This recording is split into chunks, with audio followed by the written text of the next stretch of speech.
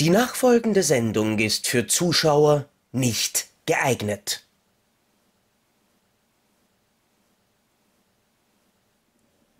Das Leben ist ein Hit. Gut, damit hat natürlich vor einiger Zeit schon einmal ein österreichischer Radiosender geworben, der sich netterweise Hitradio Ö3 nennt. Hey, das entscheidet dann wohl doch besser noch ich, oder? Und mein Leben ist definitiv ein Hit, auch wenn diese Bezeichnung sicherlich nicht für jeden Film gelten würde, der über meinen großen Fernseher flackert. da ist sicherlich auch viel S-Hit Zeugs dabei. Wobei man auf der einen Seite sagen muss, dass es natürlich auf der einen Seite schon ein bisschen dreist bis putzig ist, dass Regisseure versuchen mit Worten wie unrated oder Director's Cut Kohle zu machen für Filme, die sie ganz einfach Unrated oder Director's Cut genannt haben, aber offensichtlich war man bereits vor Ewigkeiten in den 70er Jahren ähm, gewillt, mit diesen Schlagzeilen einfach Kohle in die Kinokassen zu spielen, denn wenn der eigene Film vielleicht schon nicht unbedingt ein Hit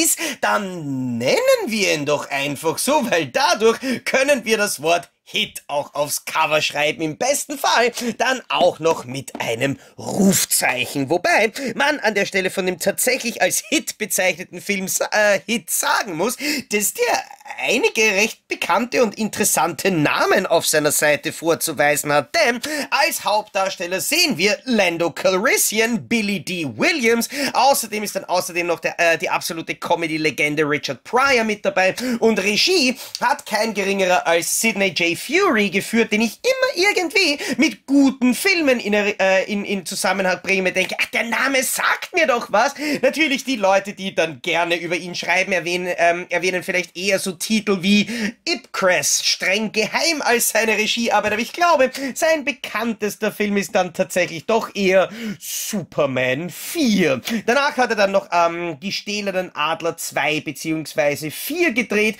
hat mit einigen B-Action-Movies von Showdown über Road Rage, Hide and Seek 2000 von ihm, Wahnsinn, bis hin dann quasi zu den späteren Titeln von, von Dolph Lundgren mit den beiden Meisterwerken Detention und Direct Action, bis denn, du Gott, das waren Gurken, äh, auf sich aufmerksam gemacht. Aber heute geht's ja tatsächlich um den Film Hit, der tatsächlich, ich bilde mir sogar ein, dass ich den irgendwann einmal vor Ewigkeiten äh, gesehen habe auf Basis von der alten ersten äh, deutschen VHS-Auswertung von CIC Video. Da erschien der Film nämlich mit einem, äh, mit einem irgendwie fast an einen Fernsehfilm erinnernden Cover-Artwork, umgeschnitten mit einer FSK-Freigabe ab 16 Jahren. Allerdings gab es bislang keine äh, DVD-Auswertung, überhaupt keine digitale Premiere, überhaupt im deutschsprachigen Raum. Das hat sich jetzt dann allerdings mit der äh, sich in meiner Hand befindlichen Blu-ray-Auswertung von Wicked Vision im Rahmen der großartigen Black Cinema Collection geändert. Da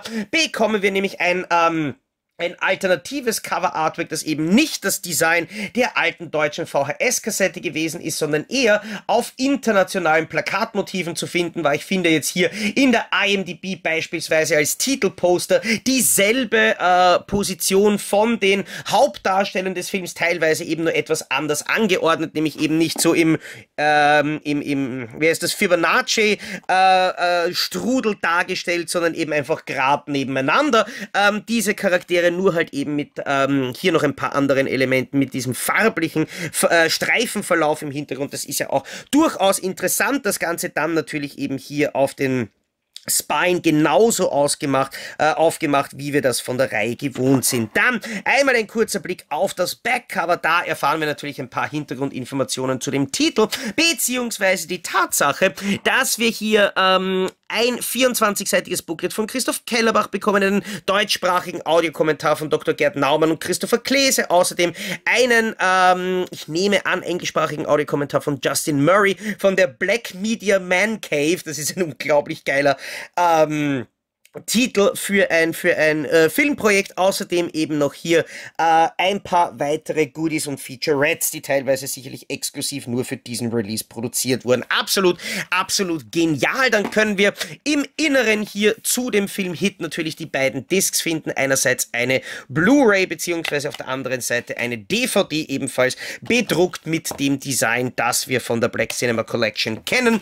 Und dann auch hier ein recht cooles Bild äh, von von Billy D. Williams mit einer, mit etwas, das man quasi mittlerweile fast schon im Museum finden könnte. Ich war, letztens war ich wirklich sehr, sehr überrascht, als ich in Wien im Technischen Museum äh, war und dort meine gute alte Playstation 1 und 2, glaube ich, schon in einer Ausstellung in einem Museum gesehen hat. Und ich glaube, spätestens dann, wenn das eigene Kinderspielzeug in einem Museum zu finden ist, wissen wir, Fuck, wir sind alt. Außerdem gibt's natürlich auch passend zu dem Film Hit hier die beiden Karten auf der einen Seite eben hier ein Szenenbild, das äh, ist allerdings etwas, das man nur als Abonnent bekommen hat. Da hat man eben dieses Mal, anders als bei der ersten Box, bereits alle ähm, Karten und auch Plakatmotive auf einmal direkt beim, äh, beim ersten Titel mit dazu bekommen und nicht mit jeder Box einzeln. Wer allerdings woanders, wie beispielsweise bei Amazon oder so einkauft mit den, ähm, mit den Black Cinema Collections, dem entgehen eben diese beiden Goodies, so wie beispielsweise eben hier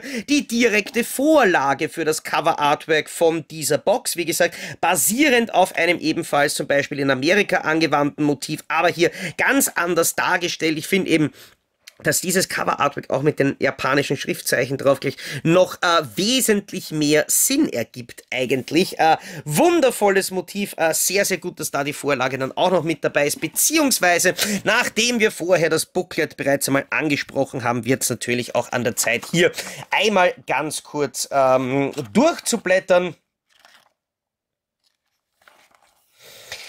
Wie gewohnt von der Black Cinema Collection eben hier. Ich mag die Aufteilung eben, dass, äh, dass so wie das ganze Innendesign von dieser, äh, von dieser VÖ, beziehungsweise eben auch die, die Box an sich alles in schwarz-weiß ist, dass wir hier die ganzen Szenenbilder haben, dass dann der, ähm, der Text grundsätzlich mit den, mit den fett und äh, äh, groß geschriebenen Titeln dann auch ein bisschen Struktur reinbekommt, dass das alles abwechslungsreich ist. Hier haben wir dann eben zum Beispiel noch einmal zum direkten Vergleich das alte deutsche CIC Cover Art Artwork ähm, von der deutschen Videokassette. Aber wie gesagt, ein, wie ich finde, äh, wieder sehr, sehr schön aufbereiteter Release, der natürlich ein, ein würdiger Vertreter für die Black Cinema Collection ist und wo ich mich schon sehr, sehr freue was wir da, ich meine, mit der, mit der zweiten Box ist ja bereits alles bekannt, was da auf uns zukommt.